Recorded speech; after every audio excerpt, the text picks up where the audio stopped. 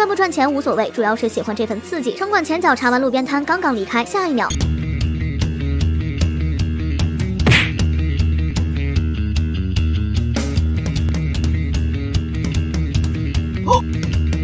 木人课件 DNA 里的游击战术。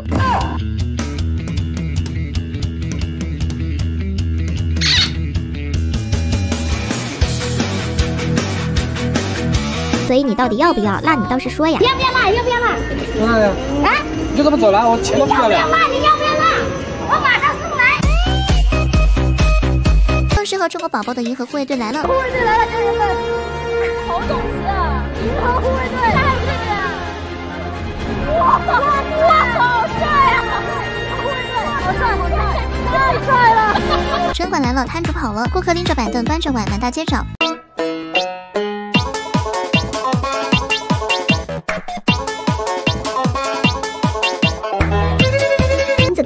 吃早饭，老板跑了，主打一个互相信任。刚开始还好好的，刚坐下吃了两口，旁边就有人大喊城管来了。老板边跑边跟我说：“你先吃，完事呢，我一会儿过来。”不管巡查，摊主直接跑路，留下顾客淡定进食。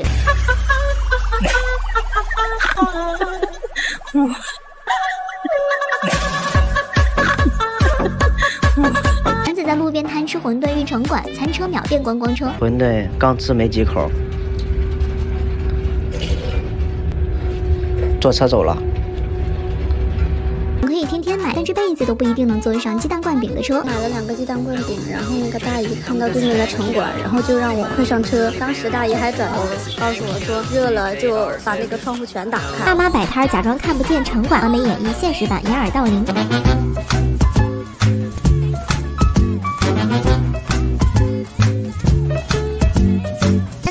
到城管来了，收摊速度堪比电子厂流水线。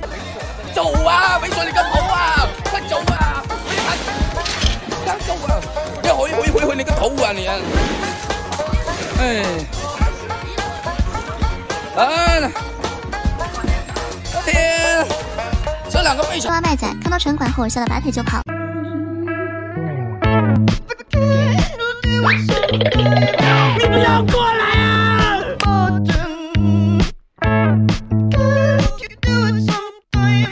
家人们谁懂啊？出来车没了。大娘说去上厕所，让我给她看一会儿她爸，我看城管来了，我我接人大娘的车跑了。我害怕因为会烂掉，这样就把它直直几台就开始卖了。那个大娘有阿尔兹海默综合症，上厕所有大娘忘记摆船回家了。我有夜跑完，在家门口买了一份炒米粉，发现老板全程四处张望，就是不看锅。刚付钱买了份炒粉和手抓饼，但我感觉老板有点奇怪，他炒粉的时候不看锅，一直在四处乱看。哎，怎么了？干嘛啊？给我饭怎么了？半嫌弃博主推得太慢，结果推车又是一阵速度与激情。先拉饭过来，啊，到前面汇合。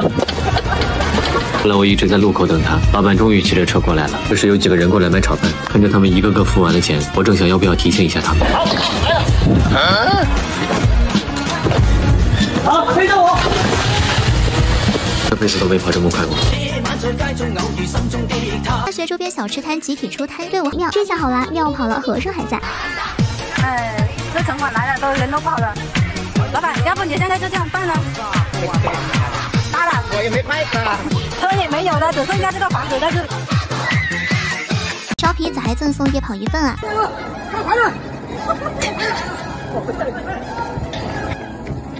烧皮。先下架，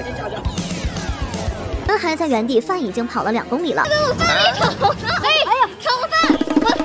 又开始跑了，你知道你现在跑火了吗？你知道吗？你知道你现在这个都不叫炒饭了，叫跑饭了吗？旁边这瞄着看有没有人来了，又要又来了，哎哎哎呀，炒饭！我男生买炸串，付完钱后城管来了，阿姨狂跑，他狂追。阿姨别跑了，我吃的呀。哎呦我的妈！快对着，快对着。我给他打好了吧。我追到了，我追到了，哈哈哈！孩子只是想吃烤肠，他能有什么错？你放啥呀？我去调车下面的叔叔吧。嘿，叔叔，你放啥呀？是哪条街？哪条街就是小吃街。